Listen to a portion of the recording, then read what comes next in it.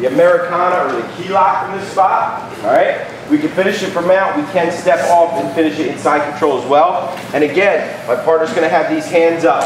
I'm going to use my right hand on his opposite wrist to push it to the mat. Now, I want my elbows on the mat for this. So I go elbow on the mat, I tuck it back towards his head. All right, my left hand's gonna come underneath. Again, C grip, that monkey grip, no thumbs. I come, I hook onto my own, my own wrist. Now I need everything tight to his body, so I'm gonna pull everything in towards his head. I'm gonna keep his wrist pinned to the mat, and I'm gonna drag his elbow back to his own hip, okay? And as I'm doing it, I'm pulling it tighter and tighter to his body. If I get it to his hip and he hasn't tapped yet, watch how I keep the wrist to the mat and I just elevate from there.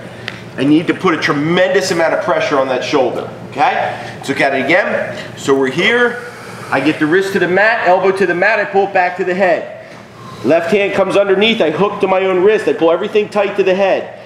Now I'm gonna drag it back, and as I drag it back to his own hip, I'm gonna pull it in tighter and tighter every time, and at the end, I'm just gonna elevate my back elbow just a little bit. I can also just step my leg across and finish it right here in side control.